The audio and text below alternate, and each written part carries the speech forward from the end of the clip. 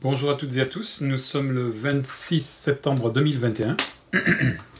Dans la vidéo euh, précédente, ainsi que dans d'autres, j'affirme que nous sommes des consciences qui nous incarnons dans des humains, en l'occurrence. Admettons que ceci soit une hypothèse de travail. Comment la vérifie-t-on? Je vais partager euh, ici, non ici d'ailleurs, et euh, dans la description de la vidéo, un lien vers un reportage qui est pas très bien fait parce qu'il est un peu sur le sensationnalisme, mais il dit des choses euh, malgré tout intéressantes, et notamment, il explique qu'aux États-Unis et en France, les méthodes mises en place pour euh, essayer de vérifier qu'il y a bien un phénomène de décorporation et un, phénomène d'expérience de, mort imminente, je vais éternuer. Donc le protocole pour pour vérifier euh, les dires de ceux qui euh, affirment avoir vécu une expérience de décorporation et, plus loin que ça, d'expérience de, mort imminente, le tunnel, la lumière, etc., euh, etc., consiste à mettre sous enveloppe, enfin, celui aux États-Unis, c'est de mettre au-dessus des meubles de la pièce d'opération, de, la salle d'opération, des cibles c'est-à-dire euh, des objets ou des images, etc., que seul le corps médical restreint connaît. Et donc, puisque euh, dans les récits de, décorporation et d'expérience de mort imminente, il est systématiquement ou quasiment systématiquement raconté que la personne se décorpore et se voit au-dessus d'elle-même, et donc elle est au, plafond de, la pièce, et donc elle surplombe comme ceci euh, l'intégralité de la pièce, et donc on imagine que de ce fait, elle sera capable de voir les, cibles qu'on va mettre comme ça en, hauteur au-dessus des, meubles.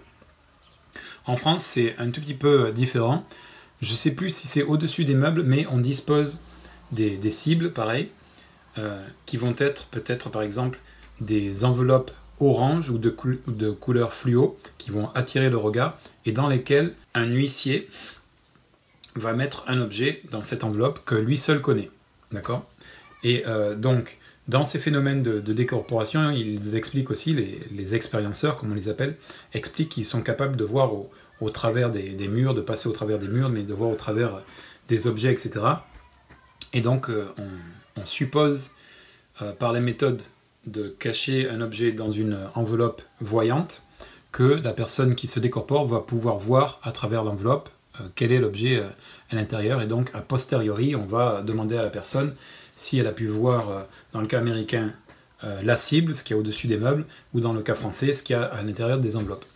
De mon, point de vue, ces méthodes sont futiles, désolé de, le dire, parce que au moment de la décorporation, c'est une expérience toute nouvelle.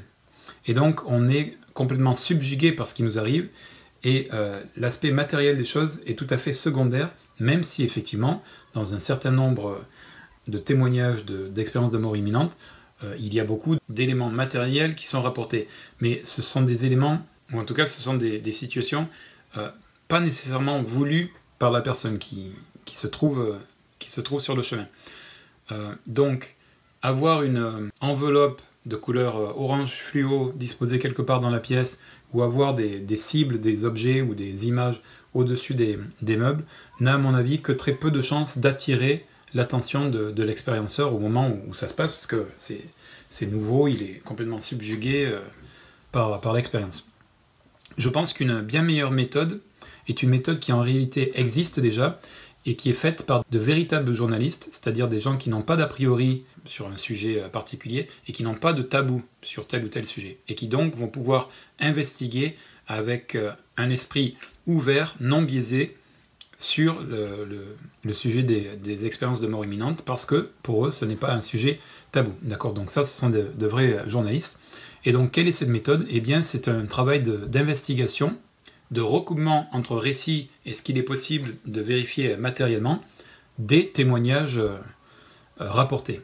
D'accord? Donc, c'est un travail a posteriori, contrairement aux deux méthodes qui sont mises en place, qui sont des méthodes a priori, c'est-à-dire on pose des objets euh, qui vont rester là et on espère euh, par la suite qu'ils euh, ils auront été captés par les expérienceurs.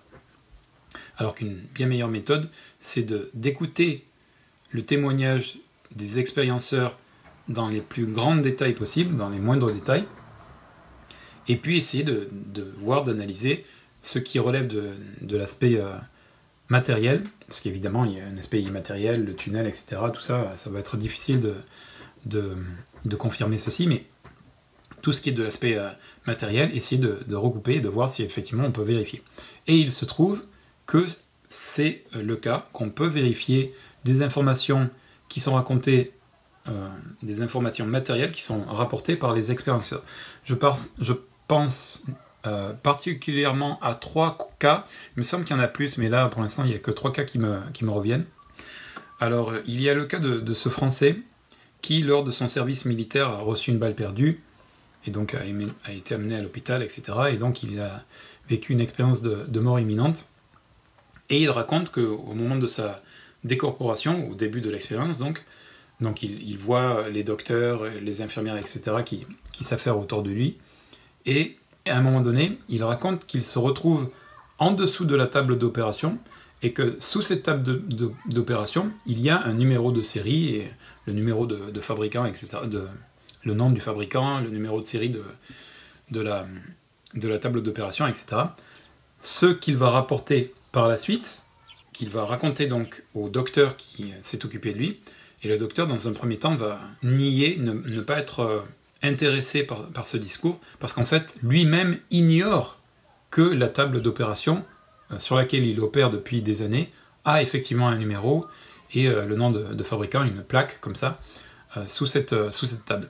Malgré tout, le, médecin va quand même aller vérifier et, à son grand étonnement, il va voir qu'effectivement il y a une plaque et qu'effectivement le numéro correspond à celui que l'expérienceur lui rappelle. Donc ça, l'expérienceur, au moment où il arrive dans la, pièce, et a priori il n'avait aucune raison d'être dans cette pièce conscient euh, avant euh, l'événement qui lui arrive, c'est-à-dire qu'on lui tire une balle dessus et qu'il soit amené euh, comme ceci aux urgences, il n'a absolument aucun moyen de connaître euh, cette table d'opération et le fait que cette table d'opération a tel numéro à tel endroit, etc. D'accord? Donc ça, ça valide le fait que ce que raconte ce monsieur est véritable. Ensuite, un autre cas, je crois que c'est le cas d'une Britannique qui, pareil, vit une expérience de mort imminente. Et comme souvent aussi dans, ces expériences-là. Alors une seconde, il y a les petits moineaux là qui me demandent de leur donner des graines. Donc je vous demande un petit instant, parce que ça me perturbe. Donc, euh, cette euh, Britannique qui vit une expérience de mort imminente, et euh, comme c'est souvent raconté, au moment de la décorporation, les, expérienceurs pensent à leur famille ou à quelqu'un de, proche, et le seul fait d'y penser, ils vont se retrouver instantanément, quasiment, auprès de, ces gens-là, ils vont pouvoir savoir ce qu'ils ont dans la tête, ce qu'ils sont en train de, penser, ce qu'ils ressentent, etc. Et donc, dans le cas de cette Britannique, sa sœur était en Australie. Je crois que sa sœur est mariée à un Australien, et donc elle est partie vivre en Australie. Donc, l'expérience de, cette dame se, déroule en, Angleterre. Et elle pense à sa sœur, dont elle est très proche, et elle va se retrouver instantanément auprès de sa sœur, et plus tard, elle va rapporter que sa sœur était en train de faire telle activité, euh, là tout de suite je m'en souviens plus, c'était la cuisine ou, un dessin, ou je sais plus qu'est-ce qu'elle était en train de faire, et qu'elle était habillée de telle façon. Euh, ce qui va pouvoir être aussi vérifié par la suite. Et puis le troisième euh, témoignage, ah, ça y est, là il me sort de l'esprit. Bon, si je le, si je m'en souviens, je le, remettrai dans la vidéo. sinon, plus tard, j'essaie de, retrouver dans quel reportage ou documentaire c'était et je le mettrai peut-être en ligne sur ma chaîne. Mais en tout cas, voilà. Par l'investigation non biaisée, sans tabou, avec l'esprit ouvert, quand on écoute, qu'on recueille le témoignage des expérienceurs, il y a une partie matérielle, donc euh, les proches, euh, la situation au moment de. Euh, dans, la, dans la pièce de, réanimation, etc. Enfin, il, raconte aussi les expérienceurs qui sont capables à la fois de, dire les conversations qu'il y avait alors que leur encéphalogramme est plat, donc euh, cliniquement ils sont morts et que leur cerveau ne peut pas comme, ça continuer euh, de recevoir euh, des informations des, cinq sens, Louis, la vue, etc. Alors que voilà, les, les, expérienceurs racontent non seulement ce qui a été dit, ce qui a été dit aussi parfois dans la pièce à côté, genre bon ben elle est morte, on l'a perdue, ou il est mort, on l'a perdu. Puis les gens se, déplacent dans la pièce à côté, euh, vont fumer une cigarette ou je ne sais quoi, et, ils ont tel ou tel euh, mot de conversation qui va être euh, rapporté. Et aussi, ils sont capables, les expérienceurs, de dire dans quel état d'esprit et que pensaient les gens qui, se sont occupés d'eux. Et je ne sais plus dans quel témoignage, mais je pense que le troisième témoignage auquel je pense, c'était ça, quoi. Le, le médecin pensait telle chose, et euh, l'expérienceur a pu euh, dire mot pour mot ce que le, médecin euh, pensait alors qu'il ne l'avait dit à personne. Donc voilà, je pense que pour essayer de confirmer ces histoires d'expériences de, mort imminente, il faut mener des, investigations journalistiques et scientifiques véritables, donc c'est-à-dire non biaisées et sans tabou, et que ce faisant, et en réalité, il y a déjà beaucoup de matière si on cherche sur Internet, euh, etc., ou si on lit euh, certains livres, on va s'apercevoir qu'effectivement, ça ne peut pas être une explication euh, médicale, le, cerveau qui reçoit comme ça des, des, stimuli intérieurs, chimiques, biochimiques, etc., mais qu'effectivement, ça correspond à des réalités physiques éloignées dans d'autres lieux qui ne peuvent être expliquées par le, stimuli euh, biochimique intérieur, par euh, le rêve, l'hallucination, la transe, etc., parce que ça correspond à des faits, euh, des faits véritables ailleurs, d'accord?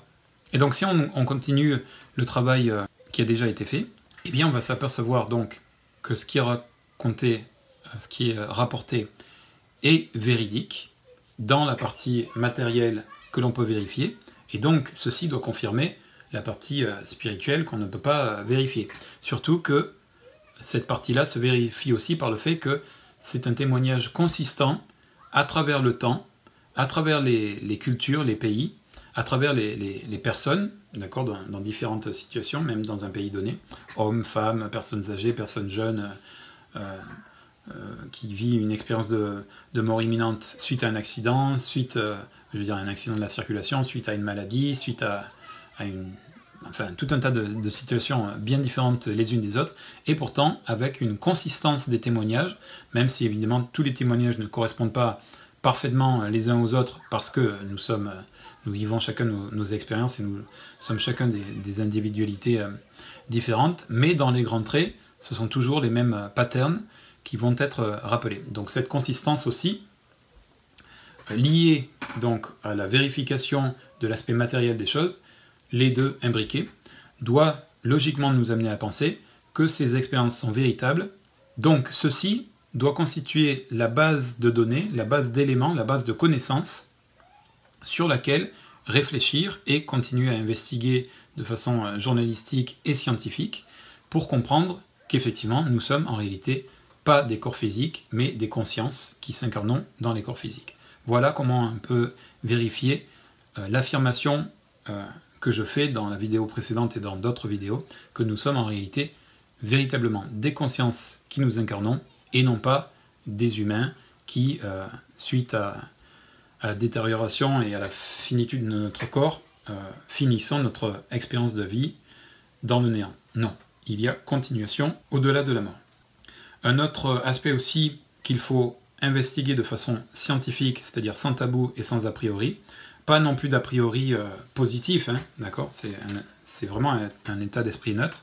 Ce sont euh, les témoignages d'enfants jeunes qui rapportent ce souvenir de vie antérieure. Alors, ils disent pas euh, je me souviens dans ma vie antérieure, j'étais ceci, j'étais cela, mais ils vont raconter des, des choses qui vont intriguer les parents ou l'entourage et qui vont parfois mener à des investigations des parents pour se rendre compte que euh, l'enfant est en fait en train de raconter euh, l'existence d'une vie, euh, vie qui a été vécue par une personne qu'ils vont parfois retrouver. Un aviateur, je me souviens de, ce cas-là, etc. D'accord? Donc là aussi, c'est une piste qu'il faut mettre en parallèle de celle des, expériences de mort imminente pour essayer de voir si effectivement, là aussi, il y a des éléments matériels que l'on peut retrouver. Et comme je viens de le dire, là, je repense à, cette histoire d'un enfant qui, qui dit je, sais voler ou, qui a une connaissance élargie euh, des aéronefs, des avions d'une certaine époque, alors qu'il est tout enfant.